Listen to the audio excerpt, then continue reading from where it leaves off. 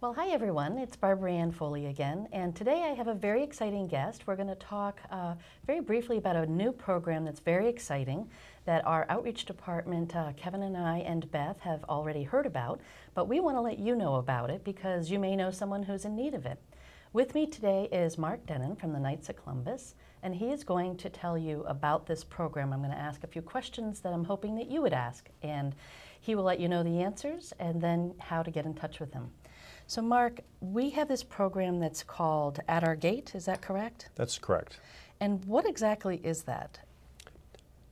Well, the name At Our Gate comes from comes from Luke's gospel, which is the story of Lazarus. And Lazarus, as you know, lies at the gate of a rich man in need of help. And the rich man offers him no assistance. And then later on, both die. And the story is that Lazarus uh, is whisked away to heaven and the comfort of Abraham, and the rich man is tormented forever in hell. And I think the lesson to be learned from this parable is that we all have a responsibility to take care of those in need. And what the program involves, which was initiated by the Knights of Columbus, is to reach out to help the people in the community who are in physical or financial need to do light work around the house. And this could be simple chores such as changing light bulbs, it could be painting, it could be fixing a door, a door lock set, you know, uh, cleaning out the dryer vent. I mean, there's just a host of little things. Taking trash, helping someone uh, go through the clothes from a, a lost spouse, you know. That's a very difficult thing to do, I know. Right, and then take them and donate them, for example, at the food pantry. So those are just some examples. Now, the program is open to everyone who has a need. The, there is no cost for the program, although there are, there are three requirements. Uh, first of all, the, the person must own the house. It must be insured. The work must not require a building permit. And it also it must be within our scope, you know, within our abilities to complete the project in a reasonable amount of time.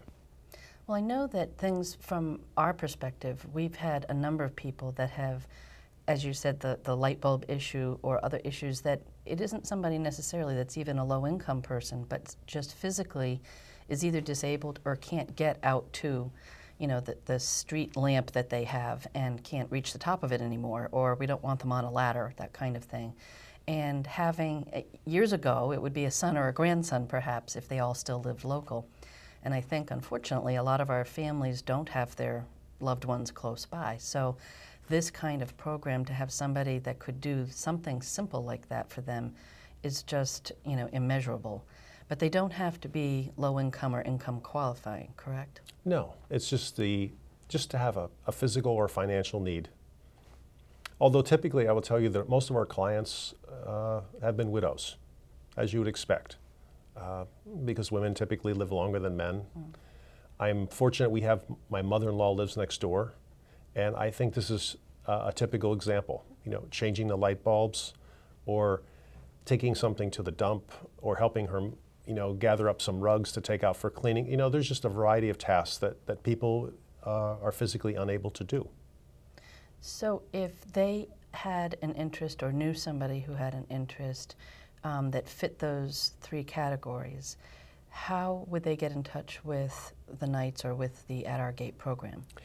Well, we have an application form for people to fill out, and uh, that'll be available uh, through Kevin here at the Community on Aging, or they can contact the Knights of Columbus. Uh, the phone number would be 508 430 5277. And we'll be glad to follow up with them. And this is one of probably other and many programs that the Knights do. Is there a set group or is it who's available that day kind of thing? How do they know who might be coming to their home? Well, typically we would have two Knights to go out. After someone has filled out an application, two Knights we'll go out to the house and listen to the homeowner's requirements and try to evaluate if we're able to complete the project. So okay. they would see two people right off, right from the beginning. And later on, the people that would come out and complete the project, it would be a combination of Knights, and also we have volunteers from the Harwich Chatham community who have offered to support the program. So we have a, a wide variety of people to, to help us in this endeavor. So conversely, if we had a viewer who said, wow, that sounds like a great program, I'd love to help them, and I've done some carpentry in my background or something like that, how would they get in touch with someone if they wanted to help you or to help volunteer? Well, we welcome all volunteers. And once again, they could call me. Uh, the phone number 508 430 5277. Okay. Um, so, is there maybe one project or one completion that you could tell us about? Obviously, we don't need any names, but just an idea of something that's was a really great project that you guys enjoy doing. Well, we recently did one for a widow where we painted her upstairs bedrooms. She was going to have some of her extended family move in with her, and I think we, we put six gallons of paint in two bedrooms. And, and she was she was extremely happy. It took us about 30 hours of work to complete. Uh, another example, we had a widow who was finally at the point where she wanted to donate her husband's clothes. So we went and we helped her accumulate all of them, tag them, inventory them, and then transport them down to the to the food pantry. Uh, another example was a woman who had a outside pole light which just need to be fixed. And it was relatively easy to do, but something she was disabled and unable to do herself. And it's, it's little things, but it makes a big difference. Absolutely makes a big difference. And even though it is not a cost to the program, the recipient can certainly donate to the program if they wanted to. That's, that's correct. We asked if they have the ability to pay for materials to do so. If they can't, then you know, we have a budget to, to cover that. We've also been fortunate in that we have had uh, the True Value Hardware Store has extended us a discount to use for materials Oh, to use for this project. And we've had other places uh, such as Paramount Carpet, which offered a discount for, for people, you know, where they needed carpet for the home. So we've had a lot of people really step forward to help us. So I think, I guess then the only kind of um, recipient or person that would not be eligible for the program would be somebody that doesn't meet those three requirements. Either project's too big, requires a permit of some kind, or they don't own their own home, they're in an apartment or they're in a, um, a complex where they're not, they're renting. That's correct. Um, that kind of thing. Um, because often with these kinds of programs, we find that they are usually income based. So, although this isn't, the three requirements do need to be met. And then they'll have an assessment done once the Knights go in and after they've received the application. yes. Is there anything else that you can think of the viewers might need to know about the program? No, just that we'll get to them as, as quickly as possible. You know, we have, we have a list of projects we're working on right now, but uh, the response has been good, and we hope the program moves forward. We've, we've had the program being picked up by other parishes, Oh, you know, wonderful. and so I think it's a good sign. I think it's the right demographics. I think people want to make a difference in other people's lives, and they're willing to help out. Well, and one of the things we've noticed with our volunteerism is we do have some volunteers that, um, unlike some of our older crew, late 70s, early 80s, that come every week and volunteer, we do have some folks that want to volunteer couple times a year or maybe for a project, and they find it difficult because they don't have the time to do an every week commitment.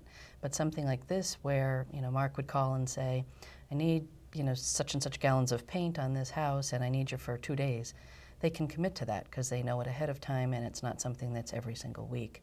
So I think that's also an advantageous to you guys. Um, the last question I have is Do you do any kind of fundraising or um, programs to try and help with the cost of this program? Well, the, the Knights have a variety of fundraising programs that they do handle. You know, raffles. Uh, we do collections for the uh,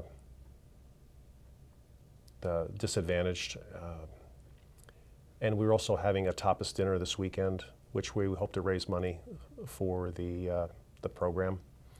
But overall, uh, we accept donations. We're more than happy to. Uh, the, the more important thing is, I, I think today it's easy, honestly, to, to throw money at a program, but I found people get much more satisfaction if they actually participate themselves. And I found the most busy person will find time if they can see they can make a meaningful difference in someone's life.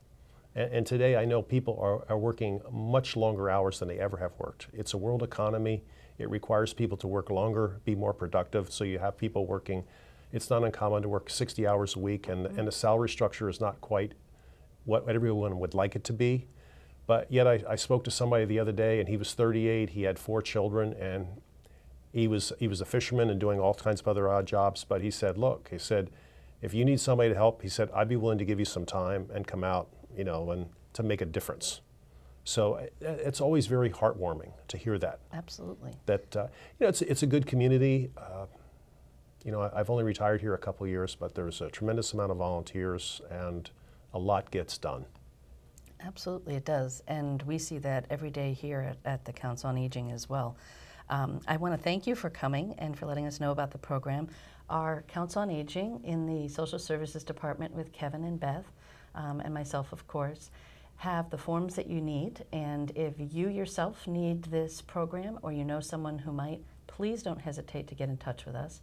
If you are someone who's homebound and can't get here yourself, we certainly can come to you also give us a call at the Council on Aging at the 430-7551. That's the outreach office.